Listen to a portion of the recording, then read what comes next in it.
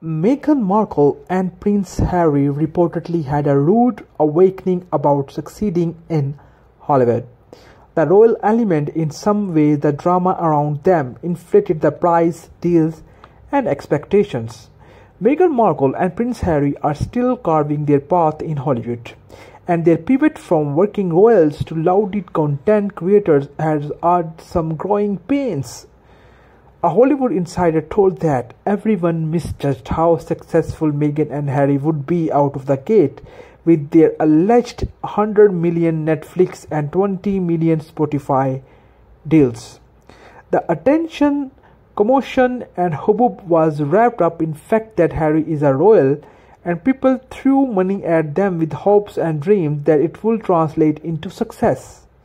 The insider said, but I think it's been a rude awakening for everyone. It's like they built a house with no foundation.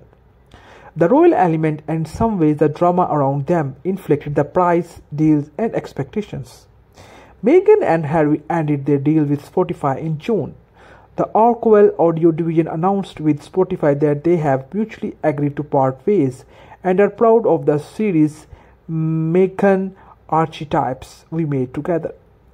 On veteran podcasting executive pointed out to people that Barack and Michelle Obama left Spotify too for Audible as the show were not done well or they overpaid and they could not bring in audiences. But the Spotify factor is just part of it. Meghan reservedness was also determinant to her success, the executive suggested. What works in podcasting is authenticity and intimacy and revealing things either about yourself or about a topic that says something about the listeners have not really thought about it. None of that happened, and Meghan was not prepared to do that because she lives an incredibly guarded life. A source told that production explained that Spotify was tough to work with. Meghan and Harry were given no formal lay of the land to kick things off. They were already on unsteady footing even before the ink was dry. And Harry was a little challenging for Spotify and the team. Things moved very slowly on both ends, the source said. It was rare to have a direct conversation with them, so everything had to flow through a middleman person. A source told that Meghan and Harry are regrouping after their initial entertainment efforts fell short. They want to figure out how they can best expand the entertainment side of things. A source told that the outlet that the couple felt snubbed by Emmy voters over their highly watched Netflix docu-series Harry and Meghan not receiving a nomination.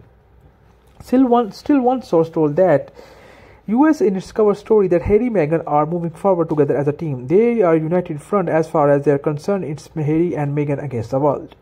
So much of Harry and Meghan time together has felt like overcoming strife from all sides. The source said they just do it together. They rely on each other for strength and always have. I hope you guys like this video. Don't forget to subscribe.